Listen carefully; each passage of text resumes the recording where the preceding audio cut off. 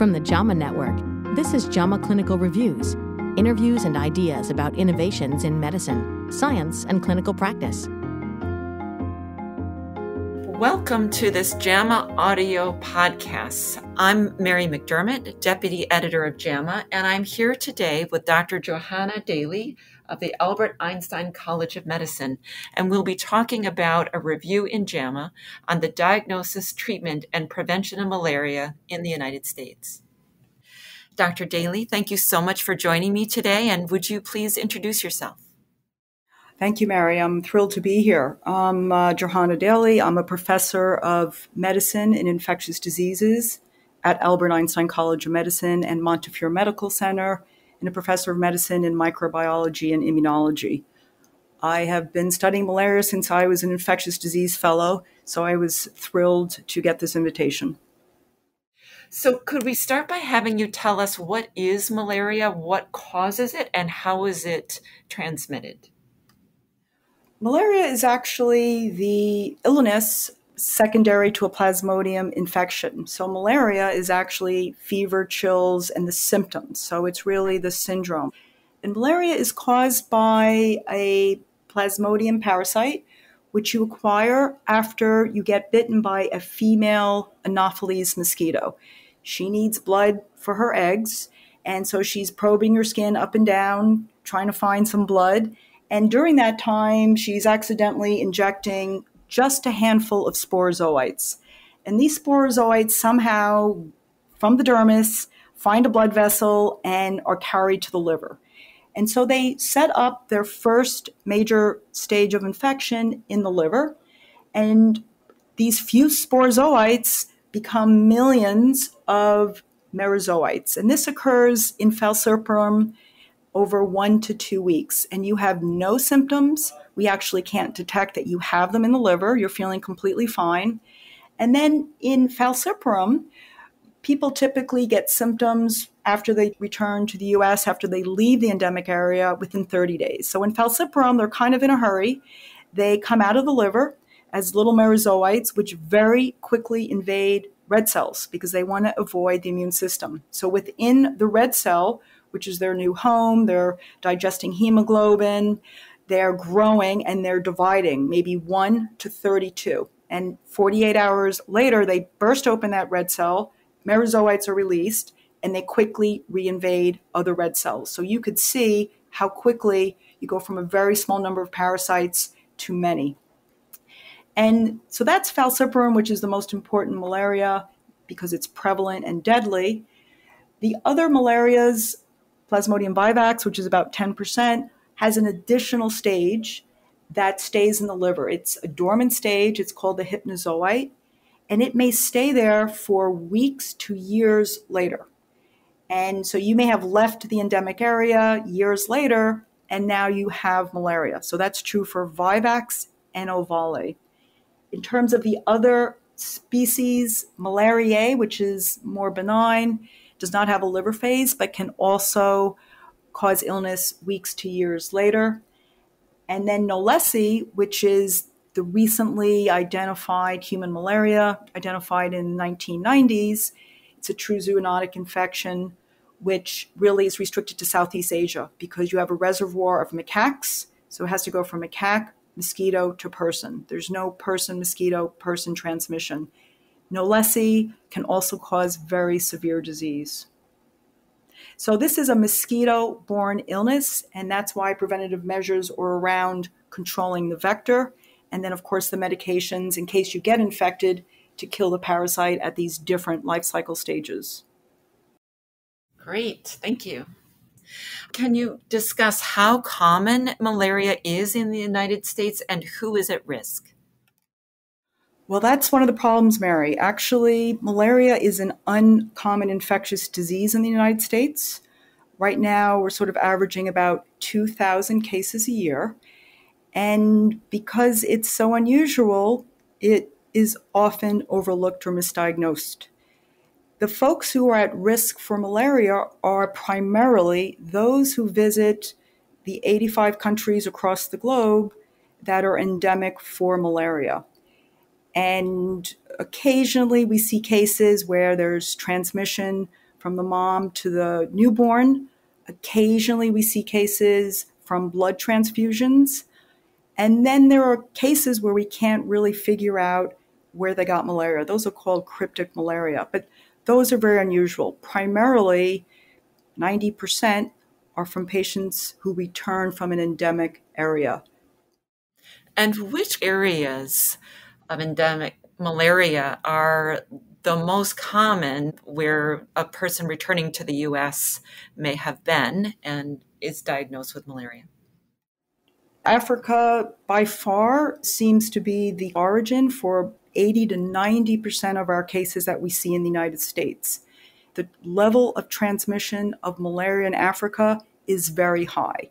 So even if just a few people visited Africa, their chance of getting infected would be very high as compared to traveling to another endemic part of the world, such as Latin America, South America, where transmission is not as great. Africa is where there's very high transmission and a very high burden of Plasmodium falciparum, which is one of the five malarias.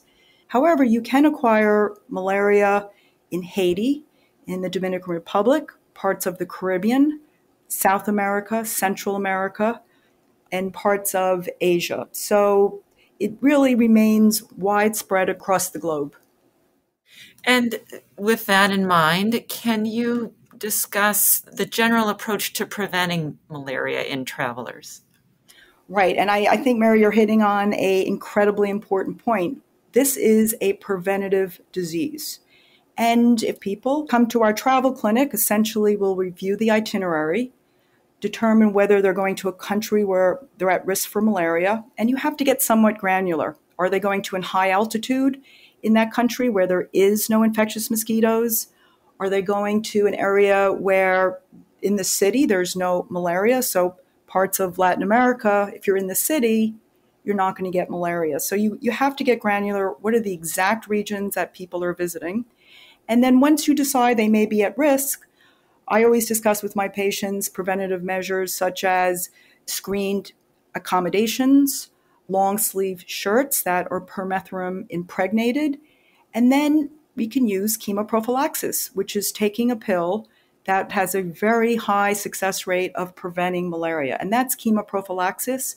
And I would say that's the keystone for our patients who are visiting areas, particularly with falciparum and vivax, some of the more deadly species of malaria. I have to ask you, where does one find long sleeve shirts that are impregnated with pyrethrin? Well, I ask that to myself because I, I go to the field a lot. Actually, if you go to the uh, outdoor stores like REI, EMS, they have beautiful, lightweight, fashionable, long sleeves, long pants, and often they are permethrin impregnated. If they're not, you can apply that yourself. Great, good to know. So, can you talk about the typical presenting symptoms of malaria? Right. I mean, all of medicine is based on pattern recognition. And for malaria, this is a challenge. It, it is very nonspecific. It's flu like symptoms, headache, maybe GI symptoms, fever is prominent.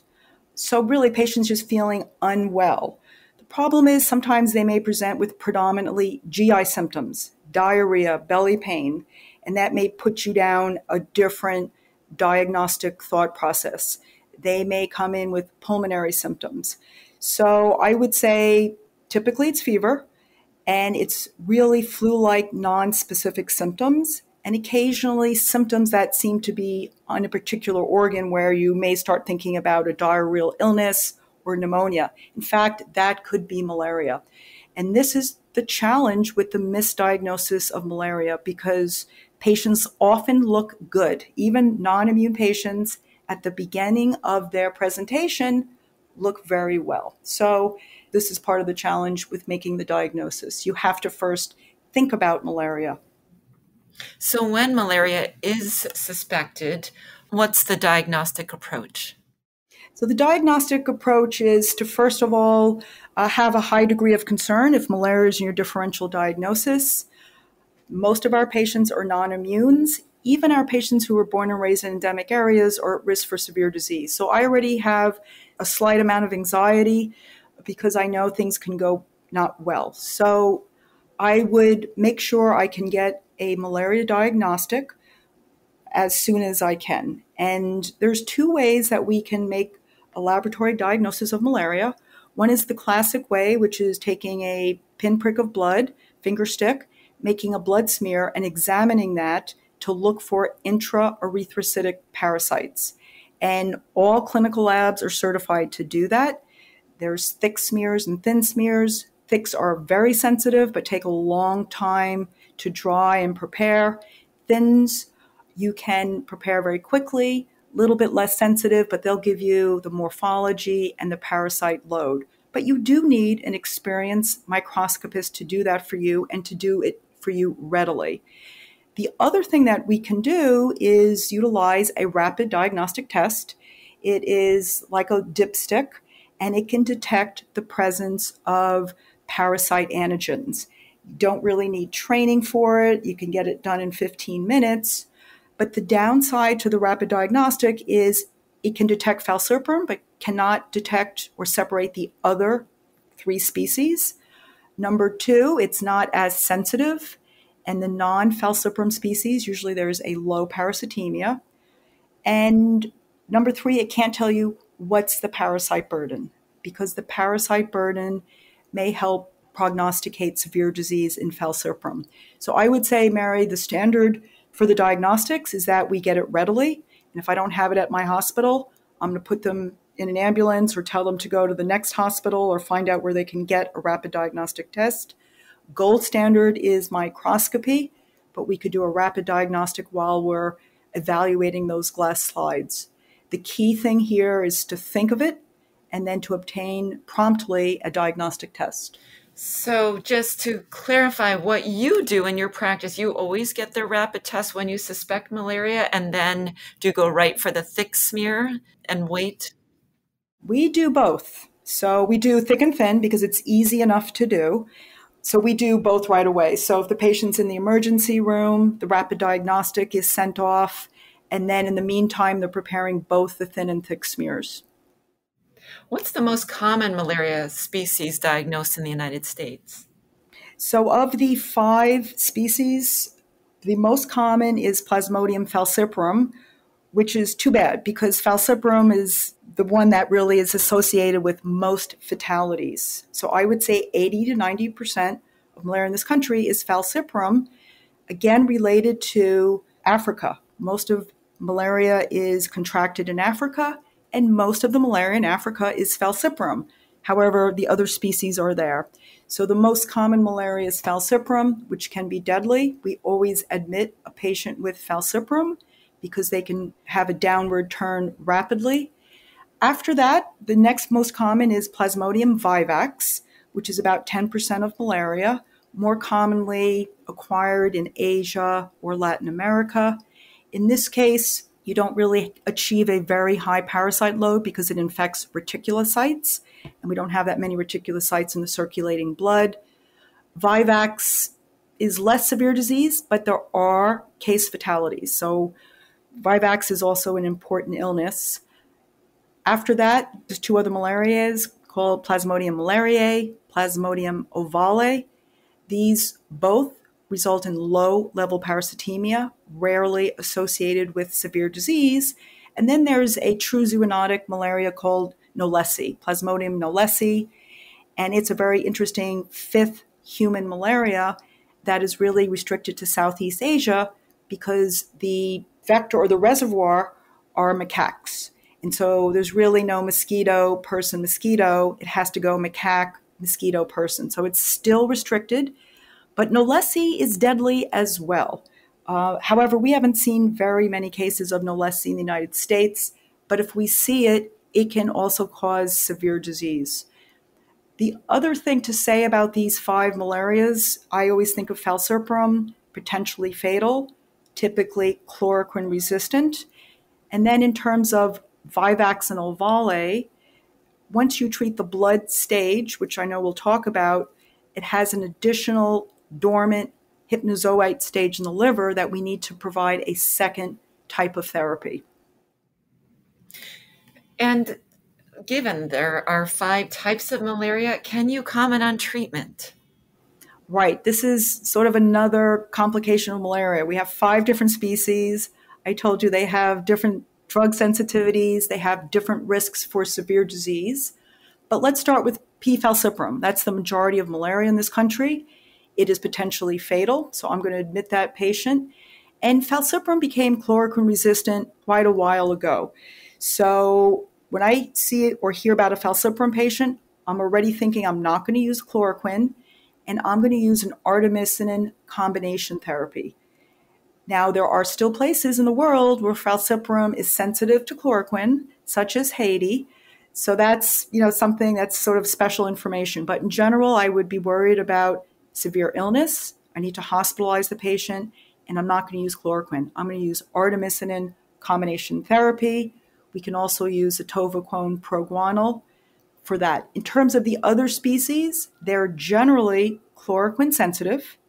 So we can use chloroquine with Vivax, Ovale, Malariae, Knowlesi. The thing to know is if you can't figure out the species, because sometimes species identification is difficult, artemisinin combination therapy works beautifully for all the malarias. So if we can't be sure, we should go to ACT. And if we have more than one species, we should consider using ACT.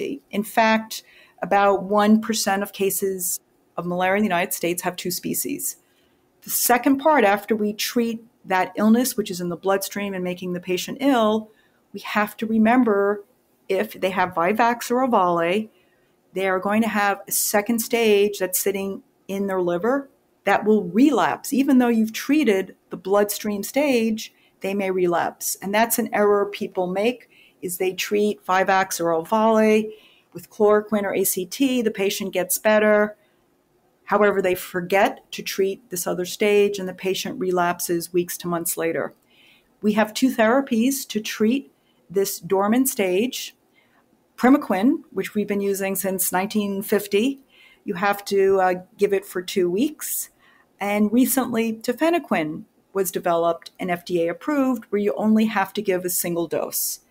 The problem with both of these drugs, Mary, is that you have to test patients' G6PD level because if they're G6PD deficient, these drugs will be more difficult to use. You will not be able to use tafenoquine, and if they're G6PD deficient, you can still give primaquine, but at a much lower dose, and you're going to observe them for hemolysis.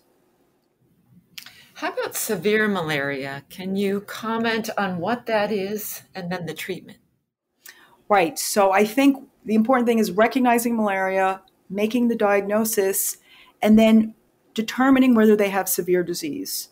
And I, I have reviewed some cases where patients haven't done well, and this is where the error is, is that we need to review the criteria of severe malaria because once we decide they have severe malaria, the drug of choice is intravenous artesunate. And so severe malaria is defined by WHO and the CDC website, which is really very, very good, as vital organ dysfunction, perhaps pulmonary disease, hypoxia, ARDS, hypotension, change in mental status, and then a series of laboratory abnormalities such as high lactate, severe anemia, renal insufficiency. And as I mentioned earlier, you can see a patient with severe malaria and sitting in front of you they look non toxic, they look well. And that's why I think people get fooled. So I think it's very important to then make sure you look at these laboratory criteria as well. They may be a sign that this person actually has severe malaria. Once you decide they have severe malaria, and by the way, any species can do it, although most of them are secondary to falciparum, then we're going to hospitalize them. We're going to obtain IV artesunate, which we can talk more about, provide supportive care, watch as their parasitemia comes down, and we then complete their treatment with once they're taking orally, the parasitemia is less than 1%, we give them a full course of ACT, which is three days of therapy. The other thing to know about severe malaria is artesunate, which is clearly the drug of choice, can result in hemolysis a couple of weeks after you treated them. So this is called post artesunate delayed hemolysis. So you just have to keep an eye on their hematocrit for four weeks after giving artesunate. They can have a delayed hemolytic syndrome. I want to go back to something you said a bit earlier that you admit all patients with falciparum malaria. I was just curious how long do you keep them hospitalized and when do you know it's okay for them to go home? Right. So we're going to admit all patients. So I first decide whether they have severe disease or not. If they don't have severe disease, they're taking orals. Then I treat them with oral ACT. And the other major point, Mary, is you can admit them, you can write a beautiful note noting why they don't have severe disease.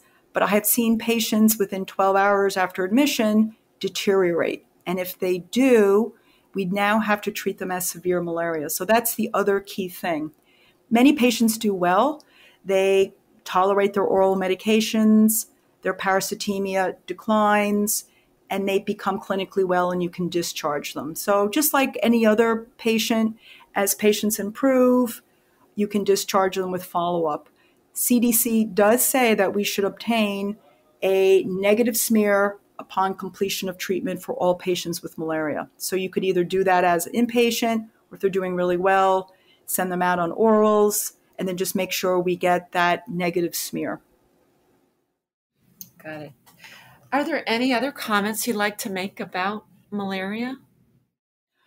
No, except to say we've had a case of malaria generally in every state across the United States. Of course, we see more here in New York. I always like to talk to this about this disease to ER folks, primary care doctors. The second thing to know is artesunate is now commercially available. So if you're in a region where you see a lot of malaria cases, it might be important for your pharmacy to stock artesunate because then it's going to be much easier to use the drug. I think in the past it seemed to be difficult to get the drug. So I think all hospital systems should perhaps stock it. If they're not stocking it, their pharmacy heads should be aware of how they can get it within 24 hours. It's now commercially available. Other major points, I think tafenoquine to prevent relapse in our Vivax and Ovale patients is a real breakthrough. They only have to take one dose and not the two weeks, which most patients weren't able to do. And again, you have to make sure G6PD is normal. That's pretty much the major breakthroughs I'd say over the last couple of years is tafenoquine and now the availability of IV artesunate commercially.